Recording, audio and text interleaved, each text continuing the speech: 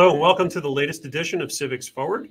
I am delighted to welcome three big thinkers for an important conversation about the business case for civics and democracy. We have a lot of ground to cover and not a lot of time to do it in, so I'm going to jump right into questions. Bill Galston, welcome to the program and thanks for joining us. My pleasure. So, we really appreciate you taking the time. You've recently done some research on the links between democracy and the economy what you may you make the argument that business or economics and democracy are, are linked. What's the case for that, and what have you found? Let me answer your question in two ways, Mike. Uh, I'm going to start off with a quote from a Harvard Business School professor, Rebecca Henderson, in a recent piece in the Harvard Business Review. And here's what she says American business needs American democracy. Free markets cannot survive without the support of the kind of capable, accountable government that can set the rules of the game that keep markets genuinely free and fair. And only democracy can ensure that governments are held accountable, that they're viewed as legitimate, and they don't devolve into the kind of crony capitalism that we see emerging in so many parts of the world. That is the heart of the case. In a recent piece for Brookings, my colleague Elaine Kamarck and I drilled down on that case, and we discovered a mountain of evidence developed by economists and political scientists about the strong link between business, free markets, and democracy. That doesn't mean that democracy will always act in ways that businesses appreciate, but it does mean that without democracy, you are subject as a business community to forces that you can't control.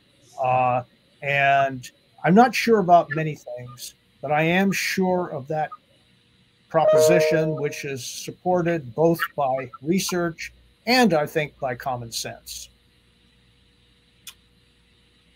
So you mentioned the, that the link is strong. How strong? Well, just look around.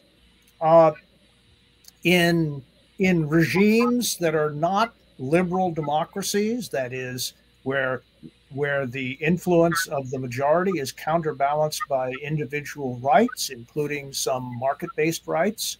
Uh, businesses are subject to governmental pressures that they're powerless to resist, no, no matter how strong they are. Look at what happened in China. Uh, three years ago, Jack Ma was everywhere.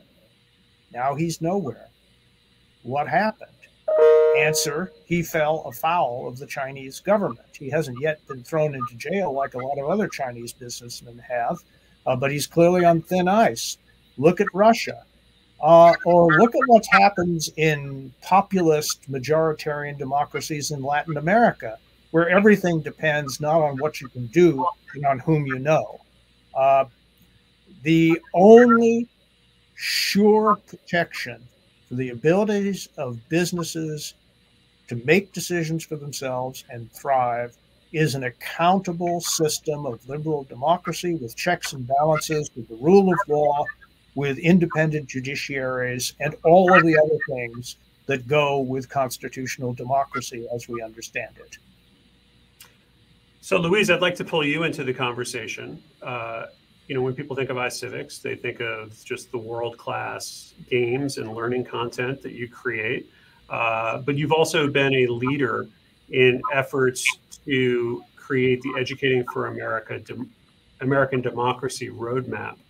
Uh, that I think would probably have given you a very good vantage point on how democracy is in the United States, um, but also how hard it is in a democracy to kind of rebuild some of our fundamental knowledge and skills. Can you tell us where things stand right now with that initiative, and also, uh, you know, what kind of progress has been made over the last year or year and a half? First of all, thank you so much um, for having us here. Um, so I will uh, add a little bit of context. Uh, as Bill says, uh, the current status may be very polarized in our country, um, but there is a path forward. Uh, we teach at iCivics about half the kids in the country and young people are such a powerful voice of hope. uh, yet they don't believe in democracy. Uh, about 24% of them think that it's either a bad or a very bad system of government that should frighten everyone. But it also gives us the imperative to invest in them, right? To actually talk to them and convince them. So here we are, polarized country. And what do we need to do in a democracy is to engage with people we disagree with. There is no other path forward than to actually come together. So, what we did is to join with 300 other folks to define a roadmap for how to rebuild a productive and renewed democracy to go forward. We didn't develop any kind of national program.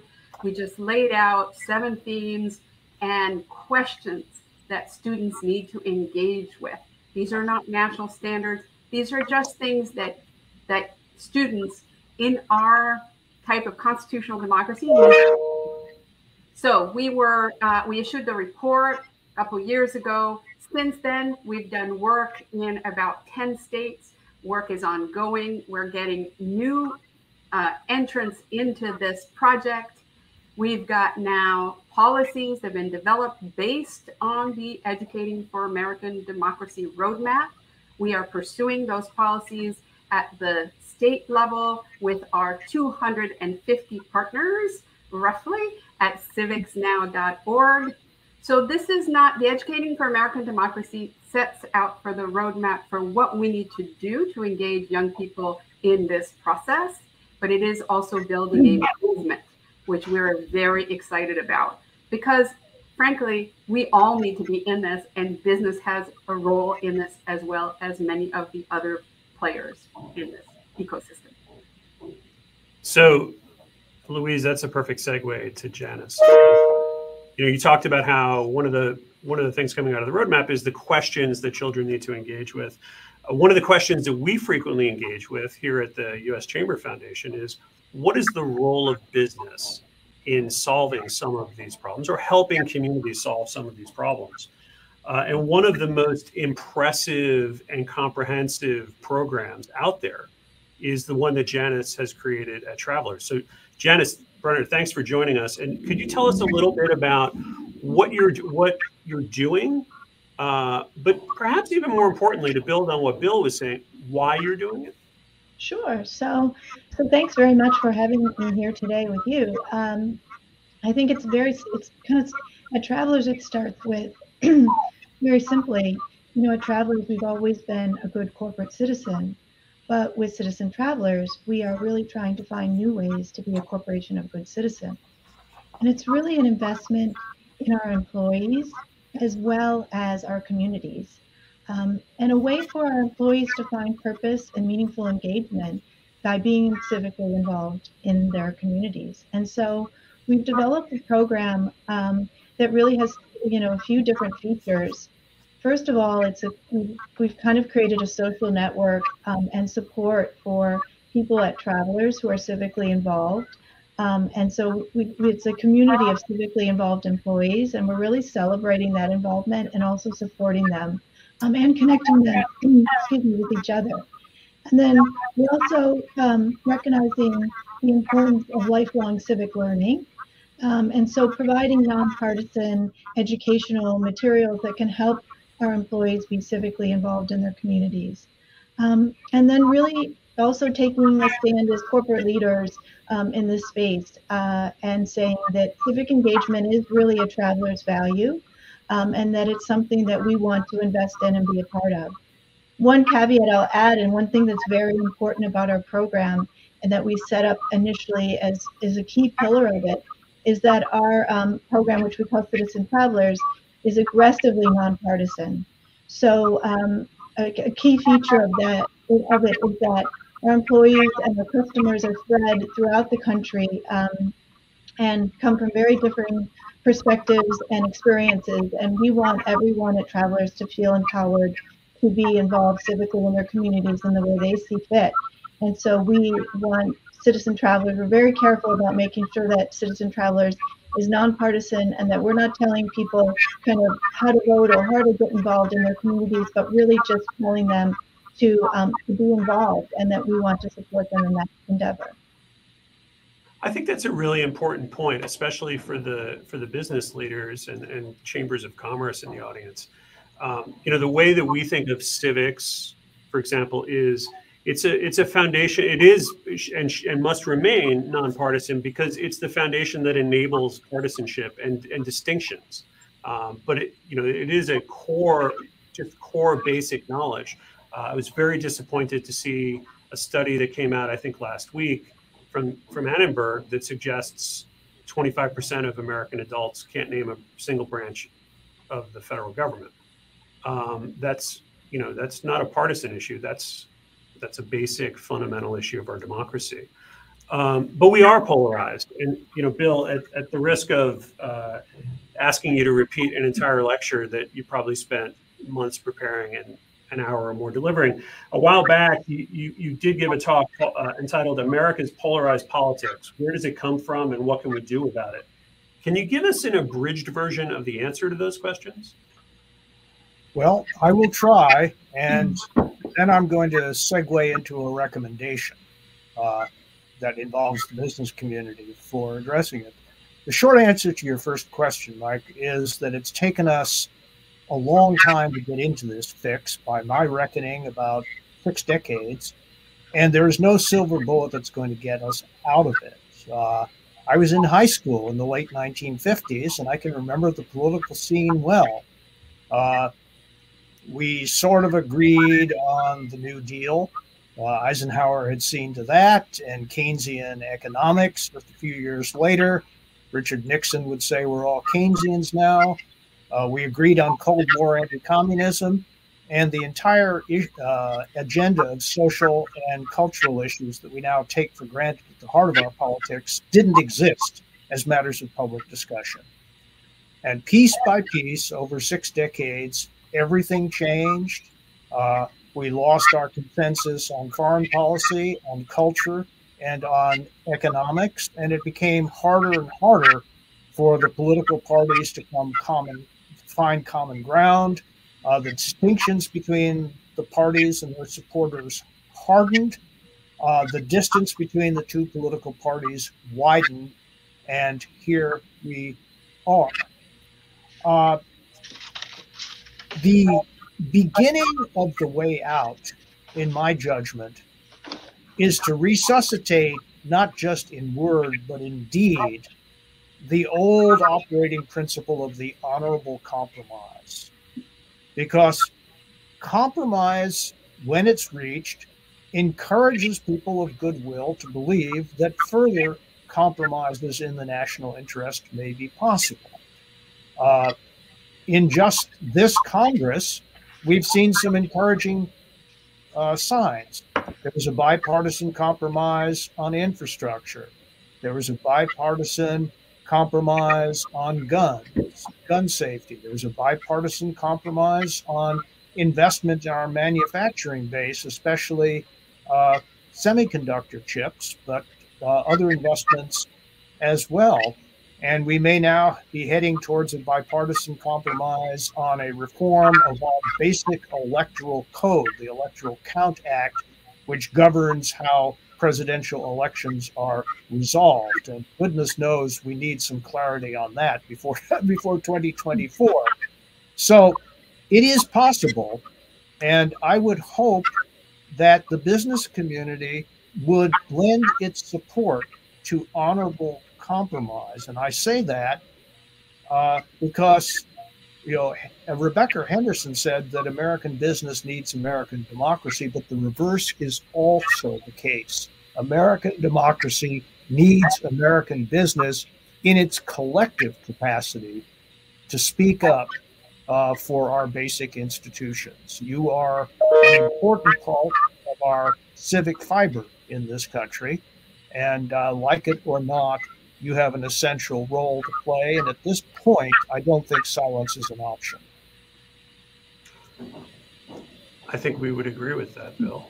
Um, you know, it's it's been amazing to see the levels of trust that people have in their employers uh, and also the role of businesses in communities across the country at a time when we do have, you know, just blinking red indicators of declining trust across many, many of the institutions that I think, to your point, we used to have consensus about. Yeah. Um, Louise, when you were, you know, through your work at iCivics and through your engagement on civics, is there any advice that you have for, for businesses that are watching? Like, what can they actually do? Are there concrete things that they can do if you're a small business or even a, a large business? Yeah, I think I think there are multiple things that can be done. I think the example of travelers is a really good one uh, for a business engaging directly with its constituency and stakeholders, with their employees, but also the families of their employees, right? So uh, we really believe that that's very important. There's also specific sets of policies that are, we at iCivics and also EAD work only in bipartisan ways and only with a plurality of points of view. And that process is a hard one, uh, but it does result in very strong policies and supporting those at the state, local, uh, and at the national level is important. So, for example, in your local district, if you're a small business, it's important to, in, to ask whether there's an investment in civic education, which can be done in, in as Janice said, an aggressively nonpartisan manner. We've laid out that roadmap. We have engaged directly in the process of ensuring that we contend with a plurality of points of view in that work. It's hard, but it can be done. So those are all the, the kinds of things. Then I would say, obviously, there are programs that are that should be implemented to support civic engagement and civic dispositions within your workforce. So all of those things are really very concrete and very doable. I can't disagree with your description of all of this as hard. I actually didn't have gray hair before I started working at civics, and now look at me. Um, Janice, you uh, you have done the hard work, and I wonder: are there lessons or is there advice that you would have for other companies that are looking at this and saying yeah you know we we we recognize the opportunity to play a really positive role but where do we start?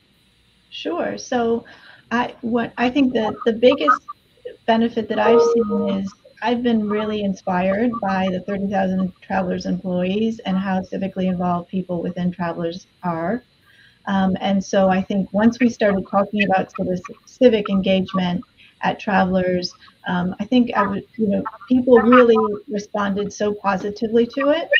And I, and I, and so I think that kind of spurs, you know, when you see your colleagues doing something positive in their communities, um, civically or or celebrating civic engagement, even through just you know get out the vote effort, things of that nature. Um, it inspires more people to get involved, and so I think from that perspective, my lesson is. I think you might be surprised how much appetite there is for nonpartisan civic engagement within your company and how easy it is to get started and kind of and have it grow. I would say the other thing that that I think we do really well at Travelers is that you know, we're 30,000 people spread throughout the country, um, and we meet daily um, with people of different identities, experiences, and perspectives, and we find ways to connect and work together as a team um, to solve problems and succeed as a business. And I think part of what we want to do as citizen travelers is, is we've, we've realized we can actually har- harness that spirit of collaboration um, and that um, and and and and suggest and support our employees in taking that same kind of teamwork and innovation and civility really out into their communities in a civic manner. And so by supporting them and doing that, it's a win-win. It's a virtuous cycle because we're telling our employees as a traveler's value to be civically involved in their communities. And they're taking all those skills they've learned at travelers out into their communities to be involved civically. And then in return, you know, they're out in their communities working with people, um, you know, getting to know people in their communities, working through um, issues that are, you know, important in their communities. And so they're learning um, in that regard. They're learning leadership, they're learning teamwork, they're learning to understand, be more empathetic and understanding to different situations. And so they're bringing all those skills, innovating, they're bringing all those skills back to travelers as well And so it's really a, a win-win. That's a really important point because, you know, as we were a few years ago, we put out a, a, a, white paper with Harvard Business Review, the business case for civics. And one of the big takeaways that we had from that project was the clear link between civic skills and especially 21st century job skills communication, the ability to work as part of a team, the ability to compromise. All of that is just increasingly in a, in a knowledge economy. Uh, so I'm going to shift over now to some of the audience questions. We've gotten quite a few. I don't know if we're going to get to all of them. Uh, I'll give the first one. I think I know what the answer to this is. Uh, I'll give this to Louise. Louise, how important is it for business to invest in nonprofit organizations that focus on civics? As the head of a nonprofit organization. Right, right. I think I'd get fired if I said it wasn't. I, so what I think is that the the pool of, of workers that come to business come from young people today, right? So if we just talked about the fact that these are really the same skills as employmentable skills. In fact, there's research that shows that if you invest in civic education, you will have more employable uh, workers as a result of it, right? So you're going to have folks who can solve problems that are complex. You have folks who can talk about and debate in civil ways, so on and so forth. So uh, that's why it's important uh, for businesses to invest in in uh, nonprofit for providers, but also for the entire ecosystem and movement, so that civics becomes a priority for our country. I think we're going to deliver you a better workforce. So I'm going to bring the next question to you, Bill, and, and I'm going to exercise the moderator's prerogative by changing the audience question because I think there's a question that needs to precede it. So the, the audience member asks, how can companies engage young people? Um, but I, I would actually appreciate maybe if you answered, if you explained, are we focusing on the right people if we just limit this to young people? Like you mentioned 60 years of, of democratic decline or deterioration. Is young people the solution or is that just part of the solution? I think the answer to that question is obvious. Uh, in the very long run, it is the solution. But I underscore that very long run is measured in multiple decades. And to be frank, it's not clear to me that American democracy can endure another two or three decades of the level of polarization and conflict that we've seen. Uh, which means that it seems, which means that I think people of all ages need to be engaged. I'm not going to pull out a program for doing that right now. Uh, but in addition to engaging individuals, uh, I think that the business community as an organized collectivity has to think very hard about the role that it's going to play in the co- in coming years. Uh, and if I can be blunt, uh, the American business community is in danger of falling between two stools because there are forces in both political parties that do not wish you well, uh, that regard business as the problem rather than the solution. I emphatically disagree with that, but my voice means nothing without your voices. Uh, and what that means is that I think you have to engage citizens wholesale as well as retail, uh, and you have to throw your weight behind honorable compromise wherever the opportunity presents itself. And you have to tell people what you're doing and why you're doing it. You have to make the case as an organized community that this level of polarization is something we cannot endure indefinitely, and we all have a responsibility to do what we can to reduce it uh, before it destroys everything that we've tried to build for hundreds of years in this country. So, shifting gears, Janice, um, the, this question from the audience is What has been your biggest challenge standing up the initiative, and how did you overcome it? Oh, that's an interesting one. Um, I think it was trying to fit, you know, we have, it kind of goes back to our what I said is our mission that we've always been a good corporate citizen.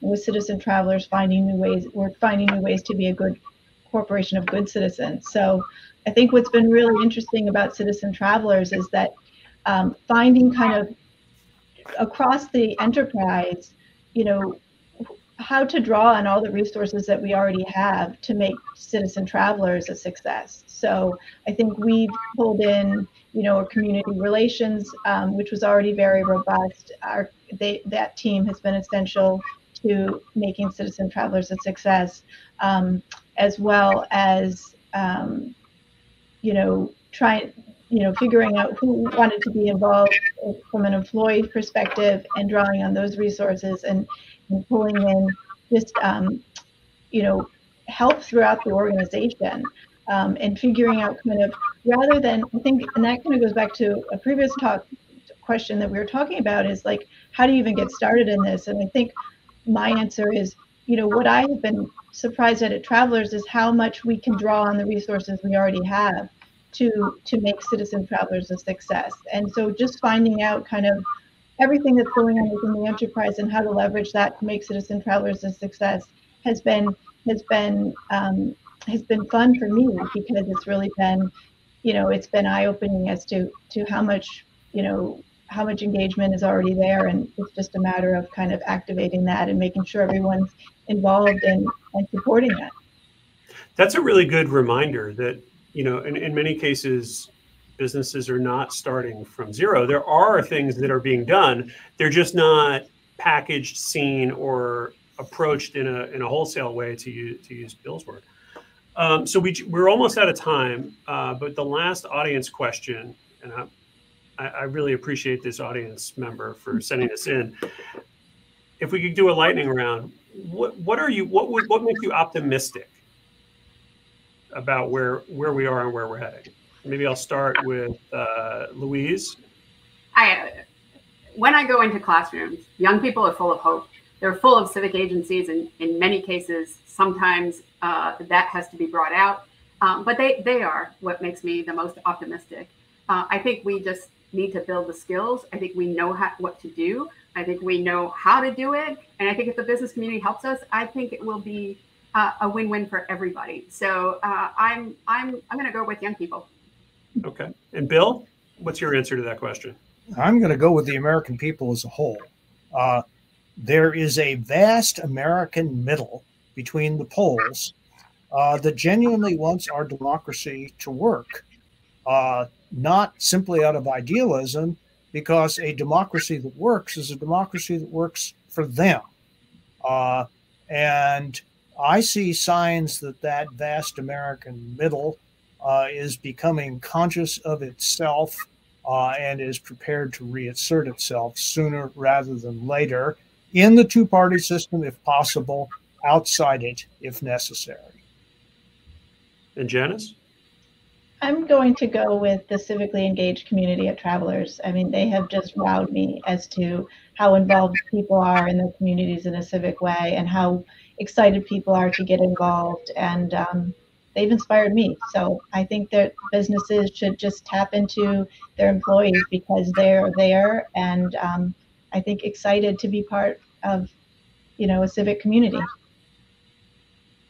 Well, I would have to say that one of the things that makes me optimistic is knowing that there are people like all of you out there doing this important work in industry, in in schools, in academia, and in communities. So thank you for the work you're doing, and thank you for for joining us today for this conversation about again what I said, what what we believe is a really important issue. Uh, and to the audience, thank you again for joining Civics Forward. Uh, it is a production of the U.S. Chamber of Commerce Foundation and our Civic Trust Initiative. Uh, here at the foundation, we are committed to three, three, three things civic literacy, elevating civics as a national priority, and making the business case for civics. I hope you enjoyed today's conversation and walk away with some new ideas and some new information about ways that you can become engaged in this initiative. Uh, please, if you'd like to learn more about our work, you can visit uschamberfoundation.org. Also, if you'd like to find out more about the research that Bill mentioned, you can go to brookings.edu, and the name of the report, the most recent report, is democracy failing and putting our economic system at risk. It's available on that website. It won't take you long to read it. I highly recommend it. Until next time, thank you very much for joining us.